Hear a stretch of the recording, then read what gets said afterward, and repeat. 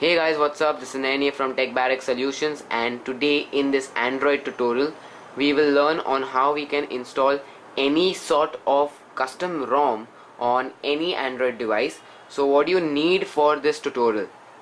First you need an Android device itself. Second you need to root your Android device. Now the rooting procedure for every Android device is different so in order to root your device if you want to know how you can root your device just google it up or just search youtube. You will definitely get some good articles on rooting your android device. Third you need to install clockwork mod recovery on your android device. And remember this clockwork mod recovery can be installed after rooting your device. Now what this uh, recovery does is that it allows us to install custom ROMs now fourth you need a custom ROM itself. So from where should you get a custom ROM? It's very simple. Let's have a look on how you can get a custom ROM. Now open up your web browser and go to google.com on google.com just search for your custom ROM. Most common ROM is CyanogenMod which is available for almost all sorts of Android devices out there in the market However, in this Android, uh, for our Android device, we will be making use of Resurrection ROM, which is a ICS ROM. Now, just download the ROM. Once you download the ROM, you will have a zip file, which will be something like this. Now, we need to have this zip file transferred to our Android device. So let's proceed to that step. Now get your Android USB cable, connect the normal or the bigger part of the USB to your personal computer. Now connect the micro USB part to the Android device. Once you do that, open up your switch on your Android device, pull down the notification bar, click on USB connected, click on turn on USB and then click on OK. Once you do that, your USB device is connected to your personal computer now we just need to do a few tweaks on our personal computer. Once your Android device is connected to your personal computer, open up the Android device folder. Next, open up the folder where you have downloaded the ROM. So once both the folders are open, just drag and drop the ROM directly into your Android device folder. Now I will be dragging and dro uh, dropping this ROM into the download folder of my Android device.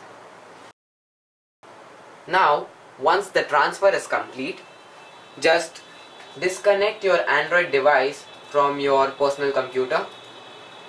Once you have disconnected your Android device from your personal computer, open up your Android device and disconnect turn or click on turn off USB storage. Once you have done that your Android device has been successfully disconnected from your personal computer. Once the transfer is complete open up your Android device and switch it off using the power button.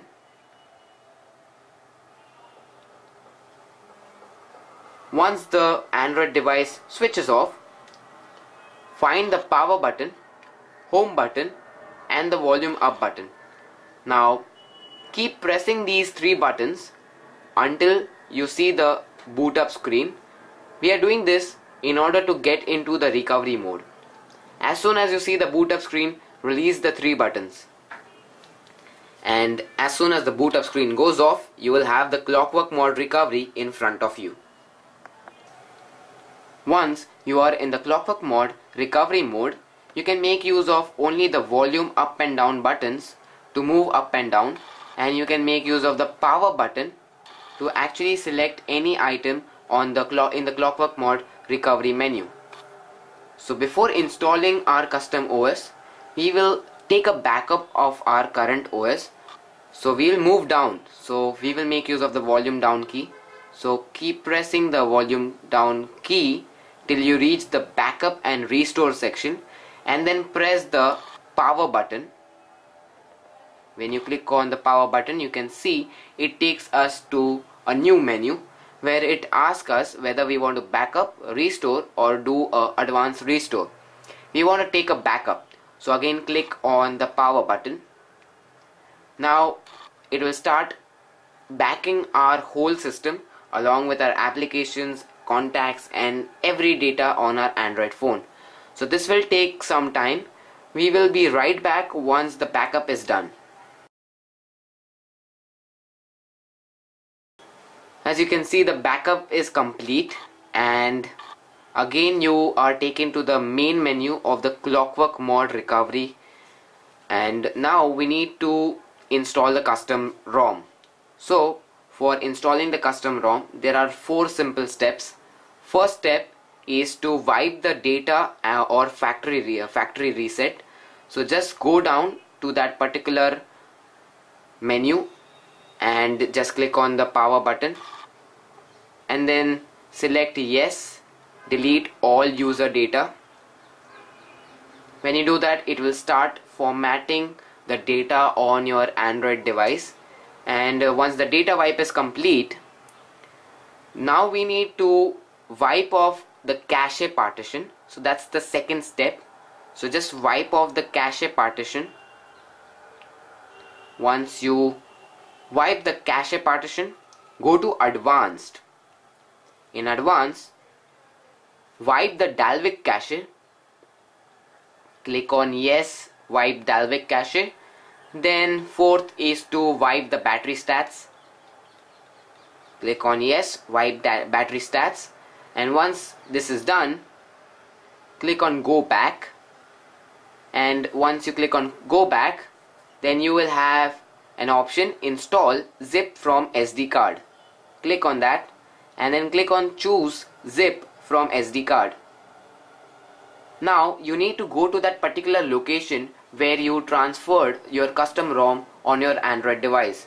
So as we transferred it in the downloads folder I will go to that particular folder and you can see I have my zip file that is resurrection Re remix ICS version 1.9.1 so just click on the power button and click on yes install resurrection remix ICS version 1.9.1 or any other ROM that you're installing. And you need to wait and this might take like a few minutes like a minute or so. So once this is done we will be right back. Okay so the ROM has been successfully installed from the SD card. And what we need to do is click on go back and click on reboot system now. Now we just need to wait and see what happens now when we, clear, when we click on reboot system now, the first boot always takes some time. So don't worry if it is taking like 3 minutes or 4 minutes on your slow Android device. It takes some time to boot for the first time when you are installing a custom ROM for the first time.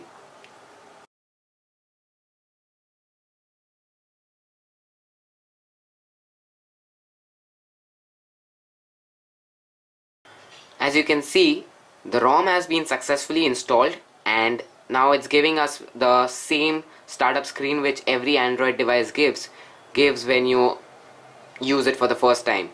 So just go through go through the setup and you are through with the custom ROM installation. I hope you like this tutorial on installing a custom ROM any custom ROM OS on your any on any Android device. So please rate comment and subscribe Tech Barrack Solutions